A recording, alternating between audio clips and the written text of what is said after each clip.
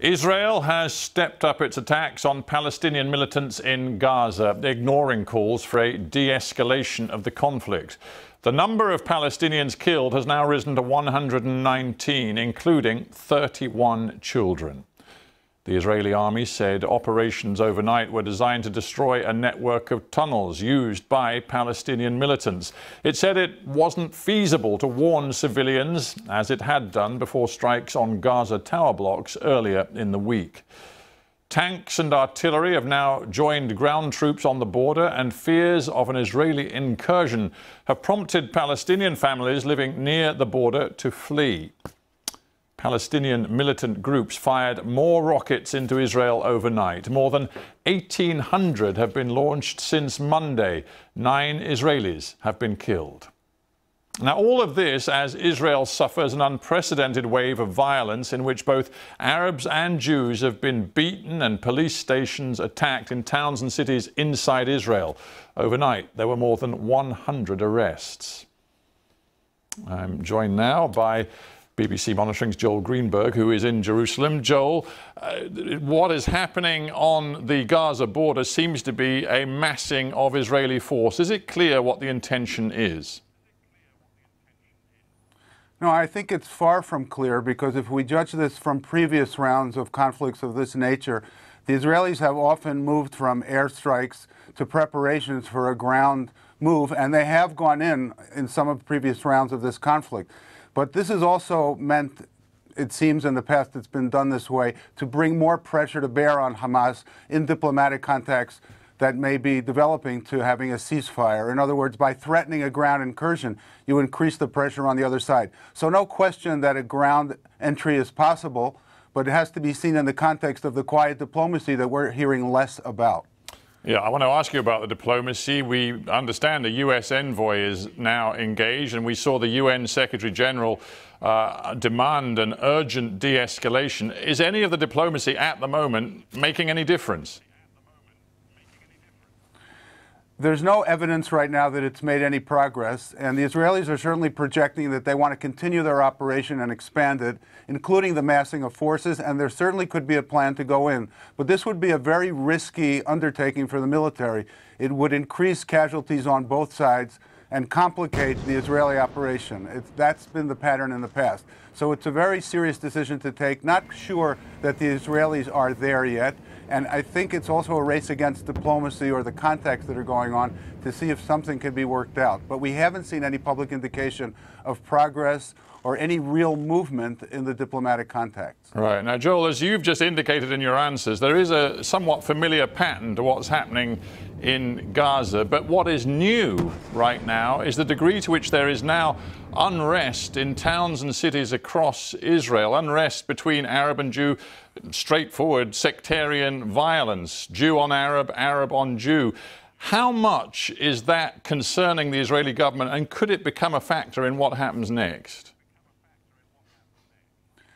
I think it's of great concern to the government. The Prime Minister Netanyahu made a point yesterday of going down to a border police unit and having his picture taken or having video, uh, various videos of him with the soldiers to show that he wants to crack down hard, bring in the border police, and restore order. It's a great challenge for the Prime Minister.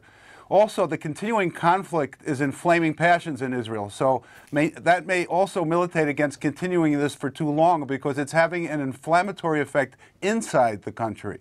So, so this could also be a factor in the decision making in Israel. But clearly, the message the prime minister is trying to convey right now is we're going to get this under control. And there have been arrests reported, but still, last night was not a quiet night, not as bad as the previous ones, but certainly ongoing. And so this is continuing to be a problem for the prime minister. And, he, and it's, as you said, unusual for this to happen during an external conflict with the Gaza Strip. Final quick one, Joel. Prime Minister Netanyahu is on borrowed time, or at least that's what we assumed. Uh, Yair Lapid, the leader of the opposition, is trying to form a government. Does Netanyahu's position get strengthened by what is happening? And does he, therefore, in a political sense, have a vested interest in keeping this conflict going right now? Yeah, I think that's a bit of a leap, but definitely in terms of the results, this has worked in his favor. His opponents were about to close a deal on an, an, an a government without him, which would have unseated him. And as a but as a result of the con, uh, constant fighting or what's going on right now, a key right-wing politician, Naftali Bennett, has pulled out of negotiations with the anti-Netanyahu coalition and seems to be leaning to go back to a coalition with Netanyahu. Still not enough for a majority, but a great boost for Netanyahu because it undoes the plans of his opponents. So, it, yes, it has definitely benefited the prime minister. To ascribe motives to him, that's a stretch. You have to have more evidence, I think, of that before you make that assertion. Joel, thank you very much indeed for giving us the latest. Now, as the heavy exchange of fire has continued between Israel and Palestinian militants in Gaza, violence has, as I've just discussed with Joel, spread amongst those mixed communities of Jews and Arabs inside Israel. Some of the worst sectarian violence has been in the city of Lod, near Tel Aviv. Our Middle East correspondent, Yolande Knell, has been meeting some of those affected. Israel is facing war, not just with Gaza, but between its own people. Here in Lod, mobs of Arab and Jewish Israelis attacking property, passers-by and places of worship.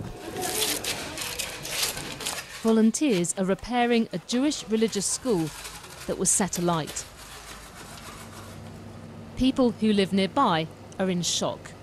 I would never, ever think something like this can happen. I wouldn't raise my kids in a place that I think something like this can happen.